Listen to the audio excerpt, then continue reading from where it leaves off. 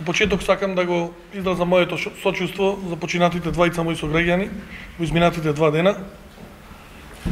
Исто сакам да испратам порака дека за сите оние кои што се заболени од овој вирус 75 во Прилеп и сите други во нашата држава,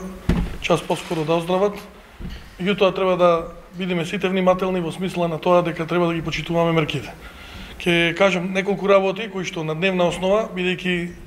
8 часот и 30 минути прво заседава комисијата за заразни болести, а потоа од 9:30 централниот кризен штаб работиме на секојдневна основа и врз база на сите предлози кои што се даваат од таму се понатаму ги носи владата како одлуки. Сакам посебно признание да оддам тука делот на здравствените работници, на делот на армијата, на Министерството за внатрешни работи, на вистина, мора да ги почитуваме сите оние кои што се прави професионалци, нормално да ги почитуваме во делот на препораките и на уредбите со законска зила кои што владата ги носи се со цел да на вистина заврши колку што може ова зло побрзо. Исто сакам да испратам една порака која што е за мене исклучително важна, тоа е по делот на информирањето. Мислам дека покрај сите противници непознати, станува збор за овој вирус, што ги имаме и, и борбата против секојдневно што водиме против лажните вести,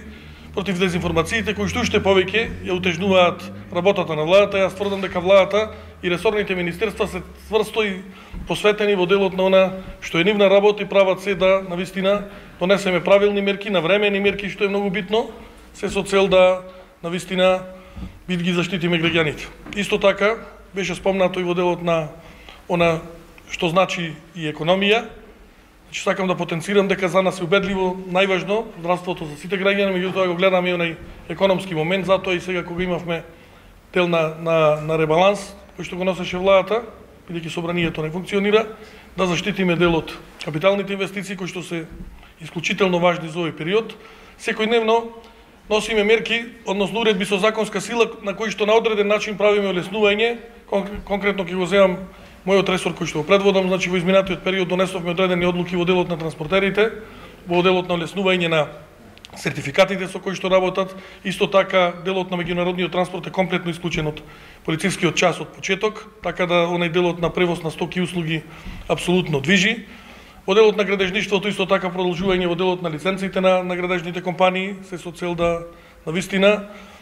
иако и за нив не постои забрана во делот на работата, да овозможиме да овој период го заштитиме целосно здравството, меѓутоа и до толку не биде оштетена економијата. И затоа ние ќе продолжиме во таа во таа насока.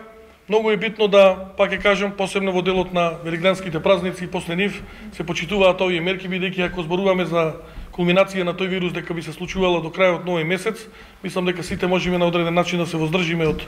активности. Тоа од граѓаните го го бараме на секојдневна основа и сметам дека на вистина во наредниве две-три недели можеме да го преживееме да преживееме ова кулминација или врв на на вирусот кој што го предвидуваат епидемиолог. Ке завршам со тоа да ги почитуваме, значи лекарите она што го зборуваат, министерот Филипче, владата, армијата, Министерството за внатрешни работи на вистина, сите работат во интерес на државата и мислам дека на тој начин побрзо ќе ќе ќе заврши ова ова сага која што и се случува на нашата држава, меѓутоа и на целиот свет.